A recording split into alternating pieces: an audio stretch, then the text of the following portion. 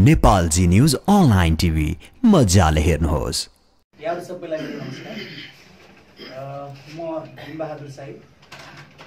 पदीय हिसाबले नेपाल नागरिक समाजको कोलपुर अध्यक्ष र नेपालका लागि नेपाली अभियानको मध्यपश्चिम तथा सुदूरपश्चिम ब्युरो इन्चार्ज।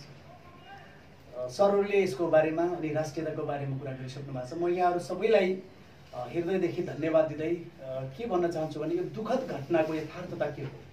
वास्तवमा यो घटना किन घट्यो? र यसको जुन किसिमको आरोप लगाइएको छ यो आरोपको मुख्य भागीदार को हो यही कुरा म यहाँहरूलाई म प्रश्न पार्नेछु।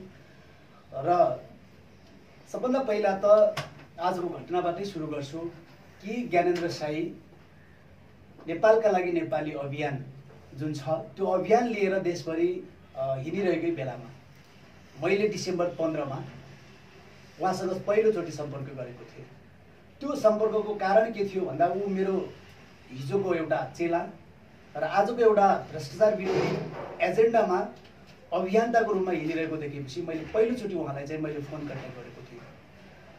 दुई हजार त्रिहत्तर सालदेखि कोलपुर क्षेत्रमा र सुदूरपश्चिमको दिपायल र जुम्ला कालीकोट र सुर्खेतमा पनि हामीले नागरिक समाज मार्फत भ्रष्टाचार विरोधी कार्यक्रम गर्ने सोच लिएर हामीले भ्रष्टाचार विरोधी आन्दोलनमै घोषणा गरेका छौँ औपचारिक ढङ्गले। र यो भ्रष्टाचार विरोधी आन्दोलन हामीले घोषणा गरिरहँदा नेपालका लागि नेपाली अभियानकै रूपमा चलिरहेको राष्ट्रव्यापी जुन अभियान छ भ्रष्टाचार विरोधी अभियान त्यो पनि हामीसँग कनेक्सन अथवा चाहिँ हामीसँग सम्पर्क हुन आएपछि हामी एकदम अन्तरात्मादेखि यो स्वीकारेर यो अभियानमा अब हामी पनि लाग्नुपर्छ र एक अभियन्ताको रूपमा अथवा हाम्रो यो अभियानको लागि चाहिने एउटा इट्टा पनि हामी हुन सक्छौँ भन्ने सोच लिएर हामी लागेको चाहिँ अभियन्ता हो। र यसलाई निरन्तर लागिरहेका छौँ। विगतको दिनदेखि अहिलेसम्म हामीलाई जस्तासुकै प्रश्न उठे पनि हाम्रो व्यक्तिगत खर्चलाई कटौती गरेर राष्ट्रिय एकता भ्रष्टाचारका विरुद्ध। यो अभियानलाई सफलताको चुलीमा पुर्याउनका लागि र देशमा भएको विकृति राजनैतिक विकृति मात्रै नभएर अन्य चाहिँ पद्धतिको विकृतिलाई पनि सुधार्नका लागि हामीले सरकार सदन राजनीतिक दल अन्य कुनै पनि निकायलाई हामीले सजग र खबरदारी गर्नका लागि घोषणा गरिएको आन्दोलन हो। यसैले हामी एक भएका हौँ। र यो एक ढिक्का हुनुको कारण पनि यही हो। रह्यो अब दोस्रो कुरा हाम्रै जुन ज्ञानेन्द्र साईप्रति लगाइएको साइबर क्राइमको बारेमा यो कसरी घट्यो म यहाँहरूलाई प्रश्न पार्न चाहन्छु। दुई हजार पचहत्तर साल वैशाख सोह्र गते हामीले सम्पर्कमा गरिसकेपछि सरी दुई हजार छिहत्तर साल वैशाख सोह्र गते हामीले जुन वीरेन्द्रनगर कर्णाली प्रदेशको राजधानी वीरेन्द्रनगरमा यो भ्रष्टाचार विरोधी आन्दोलनको बारेमा हामीले पत्रकार सम्मेलन गर्ने है भन्ने हाम्रो चाहिँ सम्पर्क र समन्वय भइसकेपछि आज त्यो कुरा रुकिसकेको छ। मैले नै पत्रकार महासङ्घका अध्यक्ष गणेश कञ्चन भारतीलाई। साँझ पख सात बजे फोन गरेको छु। तपाईँको पत्रकार महासङ्घको हल खाली छ। तपाईँहरू पत्रकार एकै ठाउँमा आउन सक्नुहुन्छ। भन्ने सम्भावना देखेर मैले तपाईँको नम्बर मागेर हामी पत्रकार सम्मेलन तपाईँको हलमा गर्दैछौँ है। यहाँले स्पेस दिनुहोला भन्दा उहाँले सकारात्मक कुरा दिनुभएको थियो। हुन्छ तपाईँले चाहिँ पत्रकार सम्मेलन गर्नु होला भन्ने कुरा भएको थियो। र त्यसपछि बिहान हामी अब पत्रकार सम्मेलनको लागि हाम्रो एउटा निश्चित पोइन्ट जुन छ त्यो बिहान त्यो क्लियर भयो भन्ने सोच बनाएर ज्ञानेन्द्र साई जुम्लामा जानुभएको थियो र म कोलपुरमा थिएँ। कोलपुरबाट म सुर्खेत र ऊ जुम्लाबाट चाहिँ सुर्खेतमा आइसकेपछि मैले दोस्रो पटक अर्को सम्पर्क गरेको थिएँ जसले महत्त्वपूर्ण भूमिका खेलिदिनु भएको थियो यो कार्यक्रमको लागि। सुरज बहादुर सिंह जो राष्ट्रिय समाचार समितिको प्रदेश प्रमुख कर्णाली प्रदेश प्रमुख हुनुहुन्छ। उहाँ मेरो आफ्नो मित्र प्लस उहाँ पत्रकार भएको हुनाले उहाँलाई पनि मैले सम्पर्क गरेको थिएँ कि हामी यो पत्रकार सम्मेलन गर्दैछौँ भ्रष्टाचार विरुद्धको बारेमा। र तपाईँले अलिक चिने जानेको र त्यो क्षेत्रमा तपाईँ प्रचलित पत्रकार भएको हुनाले यहाँहरू सबैले आफ्नो तरिकाले सूचना गरिदिनु होला। हामीले त्यति चिनेको नहुन सक्छ। यो कुरा मैले भनिसकेपछि उहाँहरूले सहमति जनाए भोलिपल्ट हामी फेरि सुर्खेतमा आइपुग्दा जुन दिन पत्रकार सम्मेलन गरियो अथवा त्यो गर्ने भनेको थियो त्यो दिनमा हामी आइपुगेपछि उहाँहरूलाई समय माग्यौँ। कि पत्रकार सम्मेलन हामी कहाँ गर्ने? त्यसपछि मैले गणेश कञ्चन भारतीजीलाई किन यो चाहिँ ठाउँ चेन्ज हुन्छ भन्ने कुरा म यहाँलाई भन्न चाहदिनँ। मैले सुरज सिंहलाई कन्ट्याक्ट गरेको थिएँ। हाम्रो स्पेस कहाँ हुने भयो त भन्दा उहाँले त्यो पत्रकार महासङ्घको हलमा चाहिँ नहुने भयो।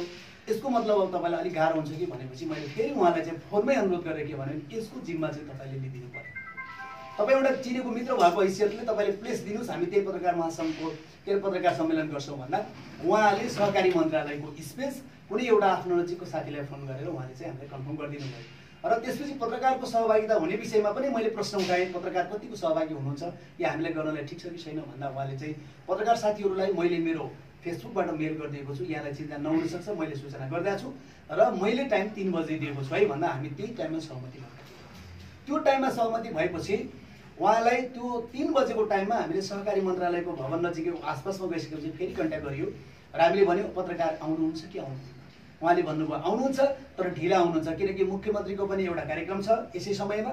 अर्को विश्वविद्यालयमा पनि एउटा कार्यक्रम छ त्यहाँबाट पत्रकार र साथीहरू आउनुहुन्छ तपाईँहरू जानुहोस् भनेपछि हामी स्वतः सिद्ध हामी चारजनाको टोली थियो। चारैजना साथीहरू हामी पत्रकार सम्मेलनका लागि सहकारी मन्त्रालयमा गएका थियौँ। त्यहाँ सहकारी मन्त्रालयमा झन्डै हामी पैँतालिस मिनटसम्म त्यहाँ वेट गऱ्यौँ। पर्खेर बस्यौँ। र हामीले आधिकारिक रूपमा त्यो हल लिएको पनि हामीले पुष्टि किन गरेनौँ भन्दा हाम्रो समय हुन या नहुन त्यो दुविधाको माझमा भएको हुनाले हामीले आधिकारिक रूपमा लिन सकेका थिएनौँ। त्यसै समयमा पत्रकारहरूलाई फेरि रिभर्स गर्दा उहाँलाई हामीले विचार गऱ्यौँ आउनु भएन। र त्यति बेला ज्ञानेन्द्र साईको चाहिँ साढे चार बजीको टिकट थियो काठमाडौँ आउने। त्यसपछि अब हामीलाई आज पत्रकार साथीहरू आउनुहुन्न भन्ने लागिसकेपछि मैले त्यहाँको सामानहरू जो साधन स्रोत हामीसँग प्रोजेक्टर थियो र ब्यानरको तयारी गरेका थियौँ।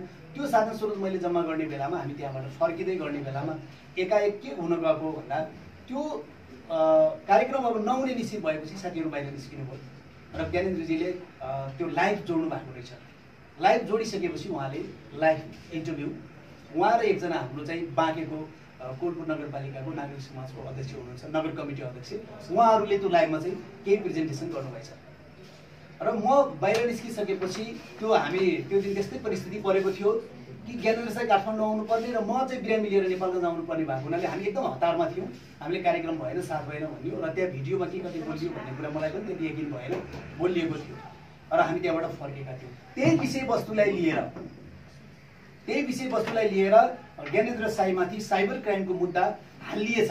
त्यो कुरा हामीलाई चाहिँ दुई हजार छिहत्तर जेठ पन्ध्र गते हामीलाई जब कार्यक्रम बिथोलियो त्यसपछि मात्रै हामीलाई प्रश्न भयो कि हामी हिरासतमा पुगेको झन्डै नौ बजे राति नौ बजेको समयमा मात्रै हामीलाई के का लागि ल्याइयो भन्ने कुरा थाहा पाउनको लागि हिरासतमा ज्ञानेन्द्र साईलाई एउटा साइबर क्राइम हालिएको थियो।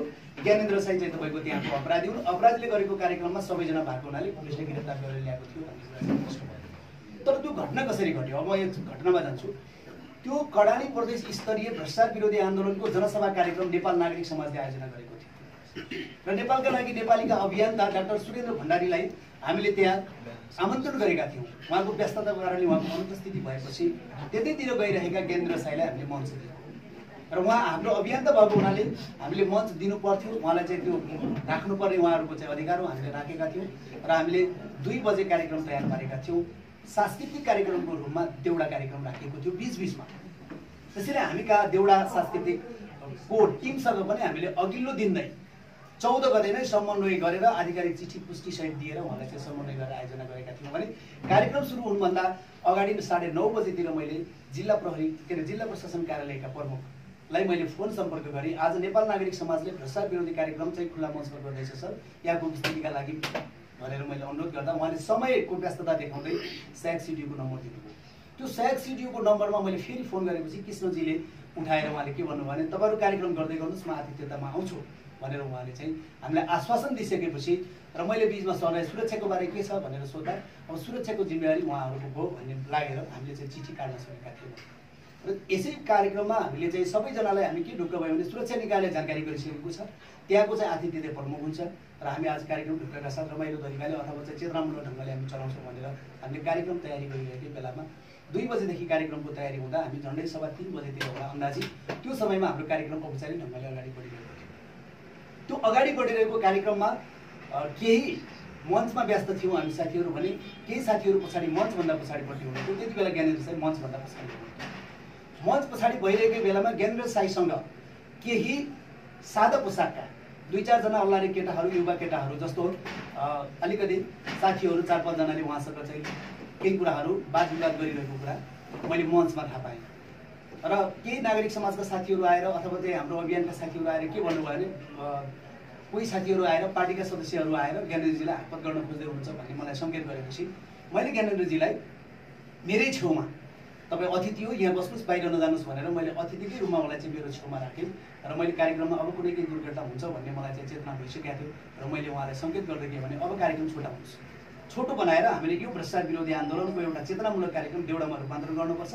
नौजना वक्ता मध्येमा हामी चारजनाले सकेर यसलाई समापन गर्नुपर्छ औपचारिक भन्दा भन्दै हामीले चाहिँ उद्घोषक त्यसपछि लगाएर तपाईँको स्वागत मन्तव्य राखिसकेपछि तेस्रो स्थानमा हामीले ज्ञानेन्द्र साईलाई मञ्च प्रदान गरेका त्यो ज्ञानेन्द्र साईले मञ्च प्रदान गरिसकेपछि ज्ञानेन्द्र साईले भ्रष्टाचारका विषयमा एउटा आफ्नो कागजमा चाहिँ टिपोट गरेर ल्याएको तथ्यको बारेमा उहाँले पुष्टि गरेर जुन भ्रष्टाचारको बारेमा उहाँले चाहिँ बोल्नुभयो। त्यो कुरा बोले पश्चात उहाँको अभिव्यक्तिसँगै सकेर मेरो छेउमा भएको थियो त्यसपछि मेरो मन्तव्य राख्ने पाला आएको थियो मैले मन्तव्य राखेँ।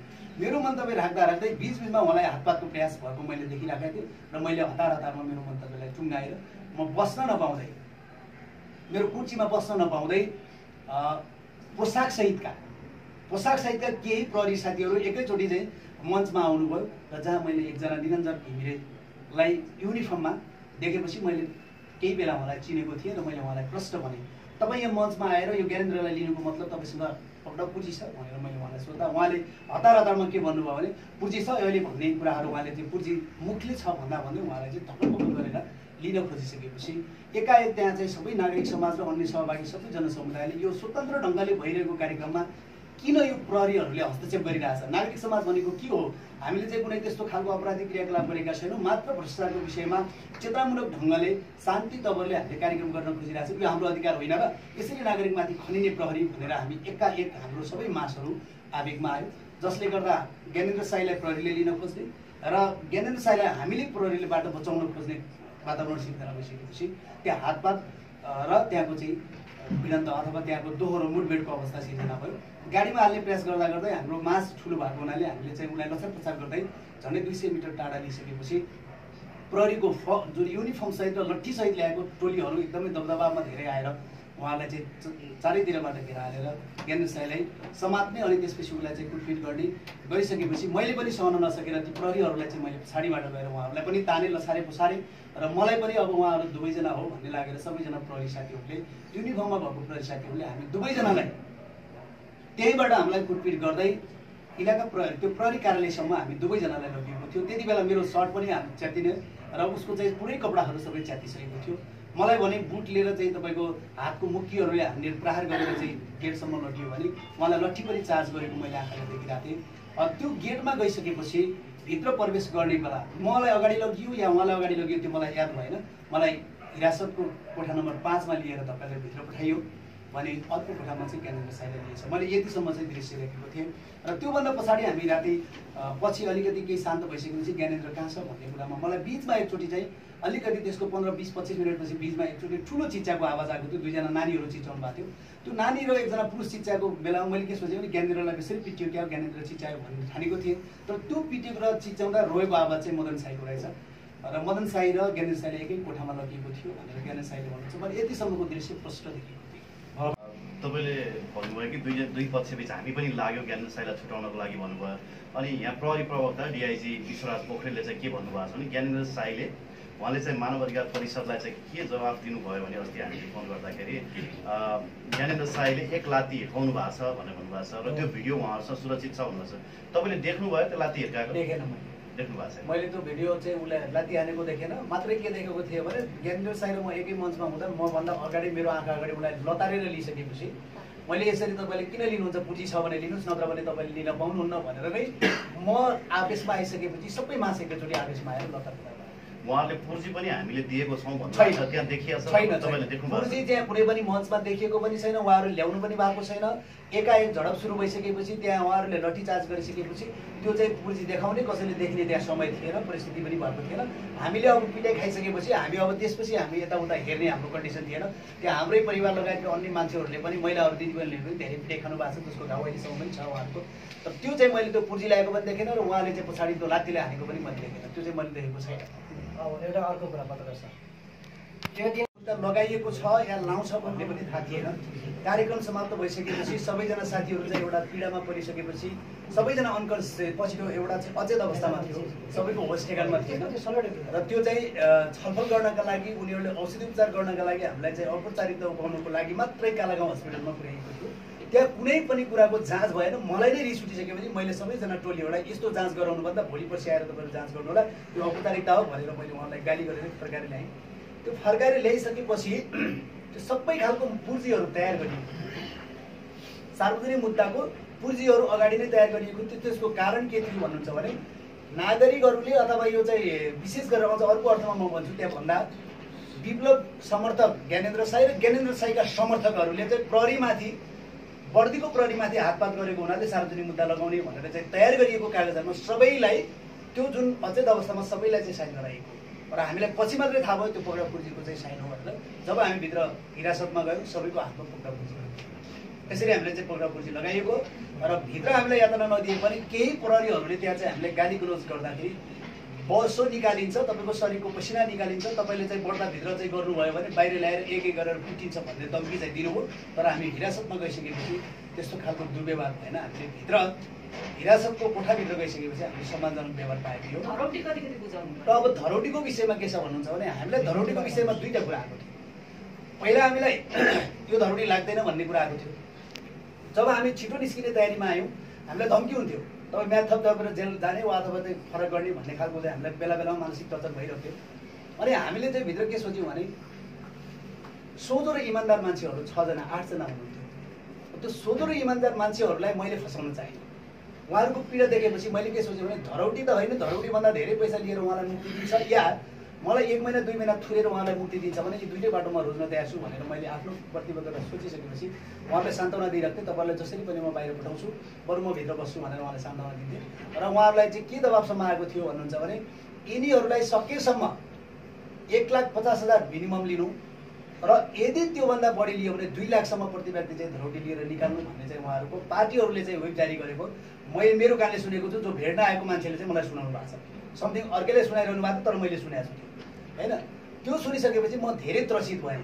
किनकि हामी आठजना भनेको सोह्र लाख रुपियाँ हो। हाम्रो लागि सजिलो थिएन। हाम्रो पकेट खर्च गरेर अभियान चलाइरहेको मान्छेलाई सोह्र लाख हाम्रो यहाँको कुरा थिएन। र म धेरै चिन्तित भइसकेँ मैले आफ्नो किसिमले लबिङ गरेर उहाँहरूलाई डिएसपीहरूलाई तपाईँको त्यहाँको चाहिँ निरञ्जन घिमिरेलाई मैले समन्वय गरेर के हो त भन्ने कुरा बेलायतमा बुझ्न चाहिँ खोजेँ। तर यथार्थ हामीलाई निकाल्ने दिनमा निकाल्ने पनि तिन दिन अगाडि निकाल्ने प्रयास गरिएको थियो। धेरै कारणले गर्दा हामीलाई तिन दिन पछाडि निकालियो। ताकि हामी चाहिँ एक्काइस गते राति निस्किनु पऱ्यो। त्यो निस्किने दिनमा चाहिँ प्रशासन कार्यालयमा गएर सिडिओ साहबलाई सोद्धा सिडिओ साहबले हामीले चाहिँ पच्चिस हजारभन्दा तल मिलाउनु हुँदैन। अधिकतम त माथि नै थियो तर मिनिमम पच्चिस हजार हो भनेपछि म पनि त्यहाँ तर्सिएँ।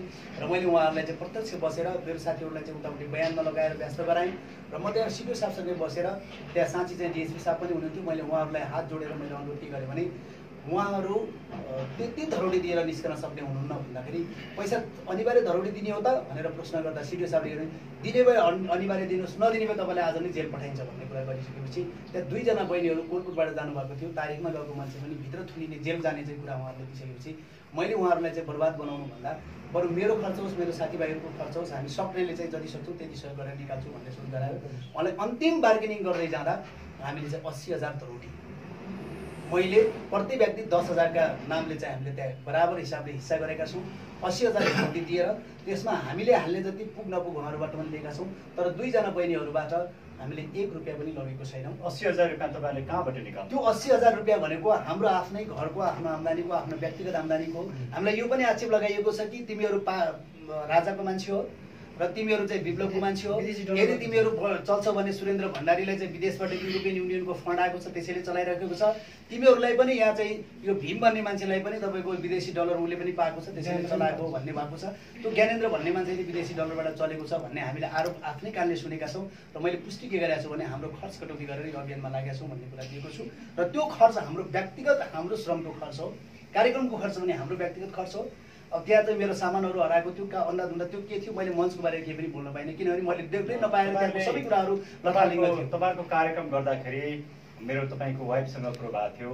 उहाँले मैले आफ्नो गोजीबाट पैसा दिएको छु। कार्यक्रमको लागि भन्नुपर्ने एकदम। हो। घरबाट मेरो श्रीमतीले नै मेरो आफ्नो श्रीमतीले उसको नाममा भएको चेक चाहिँ मैले दस हजारको चेक मैले काटेर ल्याएको थिएँ। आज भवितव्य पर्न सक्छ भनेर उसले चाहिँ चेक काटेर मेरो व्यक्तिगत घरको पैसा ल्याएर हामीले कार्यक्रम चलाउने गरिरहेका छौँ। आगामी अहिलेसम्म चलाएका कार्यक्रमहरू मेरो आम्दानीबाट खर्च कटौती गरेर चलाइरहेका छु। या मैले सरसापट गरेर चलाइरहेका छु। यो कसैबाट हामीलाई एक रुपियाँ त्रिहत्तर सालदेखि अहिलेसम्म गरेको यो कार्यक्रममा कसैले पनि हामीलाई एक रुपियाँ सहयोग गरेका छैन। हामी आफ्नो धन्यवाद। फेरि म एकचोटि यहाँलाई